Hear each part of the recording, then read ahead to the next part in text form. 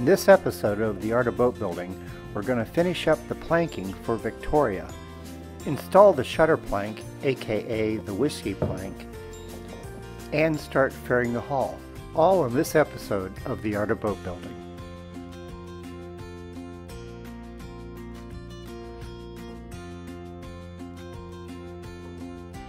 We pick up where we left off in planking the bottom of the boat. Now one of the challenges with these old cedar strips is that they still had some memory from being on the uh, original Victoria. So the, some of them had quite a curve and a twist to them. So one of the challenges with the bottom of the boat was trying to find strips that were as straight as possible so I didn't have to completely coax them into place.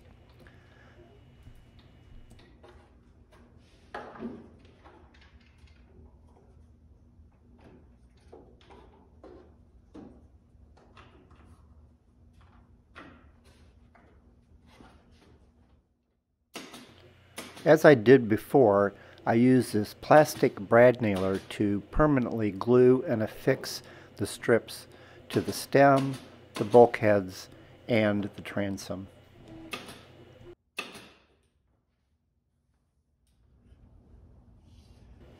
As I did with the side planks, I worked from port to starboard and vice versa. By doing this, it helps keep the structure of the boat uniform.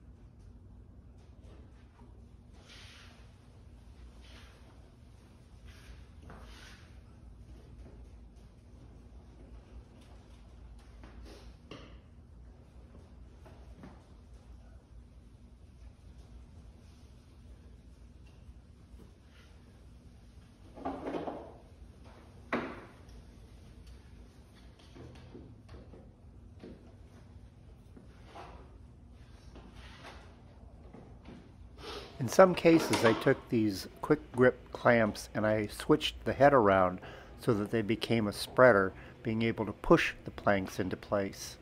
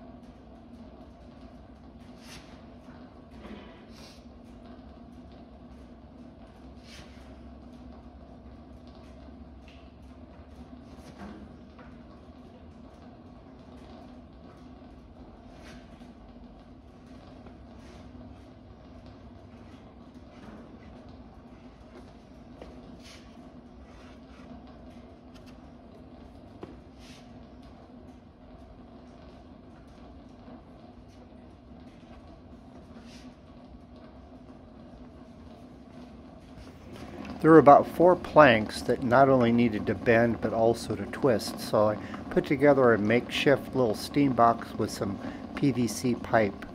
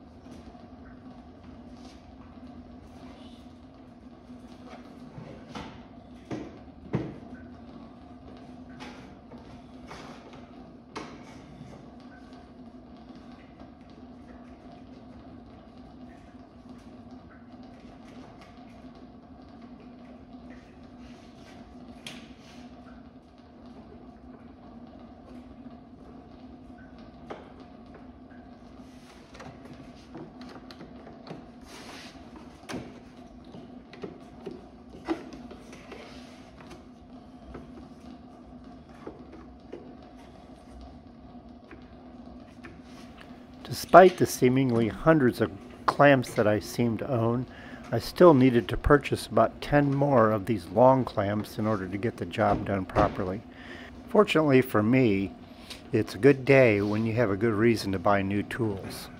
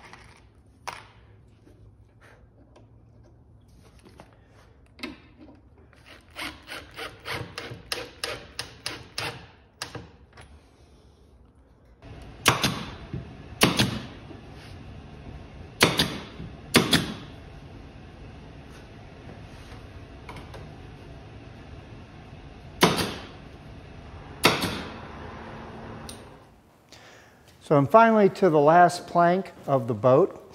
Now this particular kind of plank is called a shutter plank.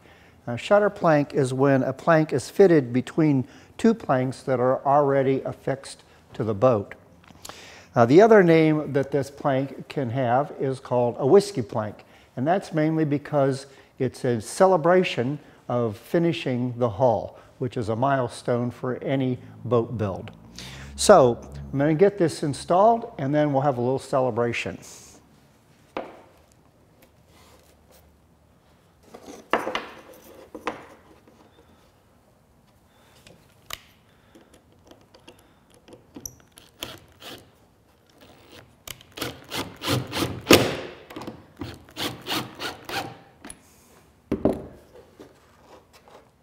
I put a little registration mark here so I'd know when I had it in as far as it needed to go.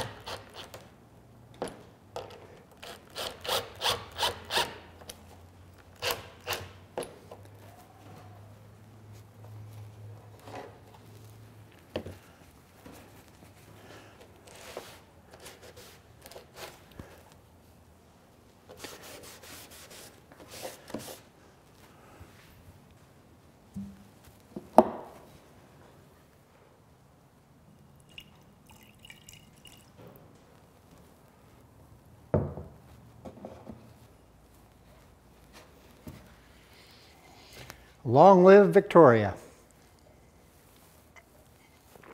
Whew.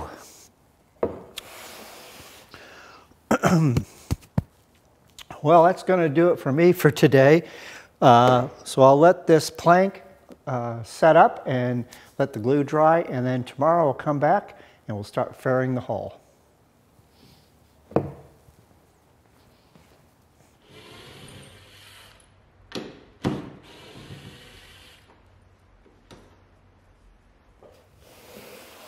Well, now that the hull is all planked, we can now get started thinking about the fairing. But before I do that, there are a few questions and comments that had come up in the last episode. Now, the first thing is about how I planked the boat. And I think that I might have misled some of you when I referenced Nick Schade's book on strip planking, mainly because he's strip planking canoes or kayaks that are a bright finish. A bright finish means the natural wood is showing. That is not going to be the case with Victoria.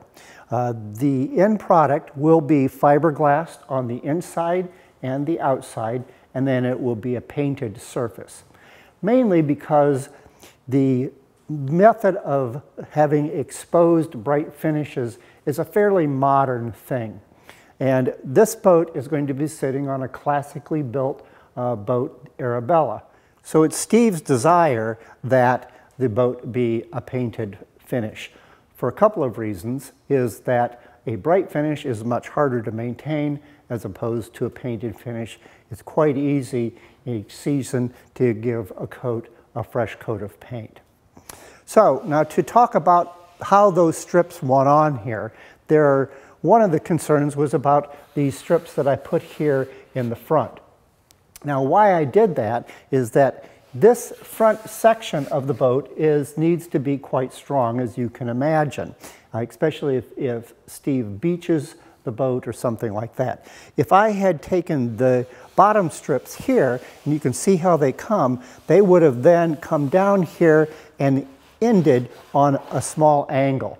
And that small angle would have created a little bit of a point out there, which in my estimation would not have been as strong. So that was one of the reasons why I did this.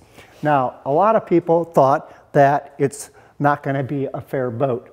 And you can see that it is completely fair and there's absolutely no little bumps or ripples in where the station marks are.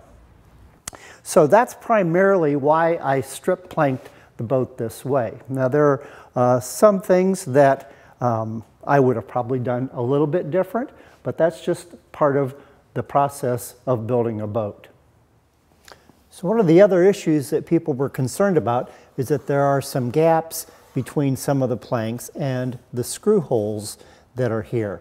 Now, all of the wood will get a fairing compound over the top. So all of these gaps would be filled with an epoxy fairing compound, as well as all of these holes where the screws are will also get fairing compound on it. So that epoxy fairing compound then sands very, it actually sands quite nicely. And then over the top of that will be the uh, fiberglass cloth and epoxy resin. So one of the other questions was how much is the boat going to weigh? Well, I've been trying to keep very close tabs on how much materials are weighing as I'm adding them to the boat. And I have been projecting that the boat would weigh somewhere between 75 and 85 pounds. Now, consequently, last week, uh, one of the viewers commented about a boat that he had built that was in very similar condition. Uh, so it's a comment by S. Wood, and he says that he had built a strip planked uh, boat that was a 10 foot dinghy years ago. And he used 10 millimeter um, strips, pine strips, and then he went over the top of that with four millimeter um, uh, marine ply okoume strips.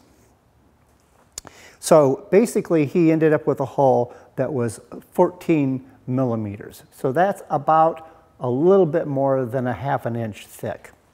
He then fiberglassed the inside and the outside of the boat. And then he, of course, faired it, and it turns out that he also had reinforced the seats uh, at the aft and in the middle, and he ended up that it was actually quite light. And he says here that he thinks it weighs about 35 kilograms. 35 kilograms is 77 pounds. And he goes on to say that he was able to manage to hoist the tender on the deck all alone. So I think that my calculations are pretty close in that the boat should weigh somewhere in the 75 to 85 pound. Now, one of the things is, is my hull is thinner. It's only 3 eighths as opposed to a half an inch. And also it's only a 9 foot dinghy instead of a 10 foot dinghy. Now there's some other added weight in that I've got probably more bulkheads than he did. So all in all, I think that uh, the boat, for those that are wondering, should weigh somewhere in that 75 to 85 pound range. So one of the other things that I had several comments about was how I trimmed up the stem here. Now, if you remember in the last episode, I had mentioned that had I not trimmed the stem down, then when the planks met here, it would have been too wide, and it would have been two inches. So I had several people say they would have just made a new stem at two inches. So let's think through that process a little bit. So first of all, in order for that stem, outer stem to fit perfectly on here, it would need to be, use this as the template to put it on. With the planks on there, there's absolutely no way to get any clamps on there to build up the laminated stem. The other thing is, is that I would have had to have gone and sourced out a bunch of white oak and trimmed all of those down into those little 1 16th inch um, uh, laminates. so the amount of time it took to trim that down to its proper size literally only took about five minutes. So as you can see, that the other method of just throwing the old the stem that I'm using away and building a new one would have taken a lot more time, a lot more material, and quite honestly, you would not have gotten as good a fit. So I've already trimmed off the planks here, and I've got the stem here, and so we put the stem on here, and we'll clamp it. First of all, you can see that it fits on there nicely and that you can see that once it's anchored to the top here, that it fits that contour of the boat really perfectly. The other thing is, is that now as I can see where the planks come in here, as I bevel off this stem, I'm going to get a really nice thin cutwater on there. So I'm really happy with the way that goes. Uh, I will probably I will uh, glue that to the boat and I will put bronze screws in here to hold it in place. So the first step of getting ready to fair the hull is to remove all of these temporary screws.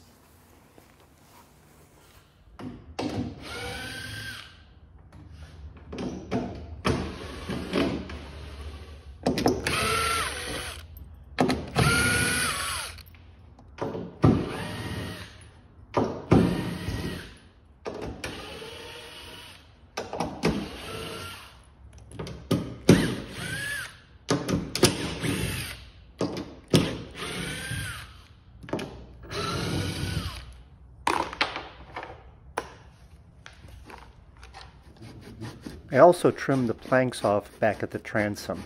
I put blue tape on the transom to protect it from the saw and also on the saw blade on the rip side so that it would glide easier. I also found that cutting from the transom out was much more accurate than cutting from the outside in. Now that I have all those temporary screws out and that I have the planks trimmed, at the transom, I can now get started fairing the hull. And the way I do that is with a uh, hand plane. I've got a little block plane here, and the trick is to get rid of these sort of high spots where the planks aren't quite level. And one of the best ways to do that is to plane on a diagonal, like so. Now what that does is it rides across any high spots and gets rid of them. Where if I were to plane with the planks this way, I would tend to maybe get more of a wavy uh, motion in there.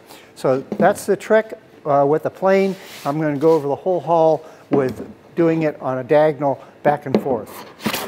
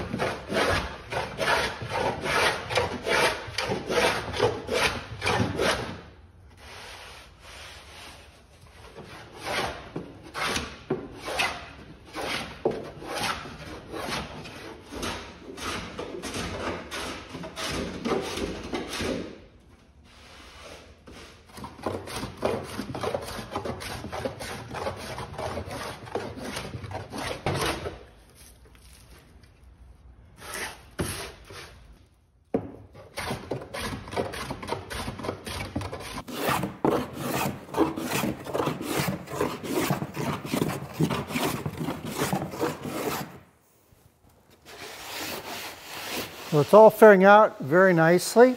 Um, after I finish all of the planing, the next step then is to get some fairing compound and fill in all of these uh, screw holes and the cracks and any little divots that may be in there. But we're running out of time in this episode, so we'll have to take care of that in the next episode. So, thanks for watching, and I'll see you the next time on The Art of Boat Building.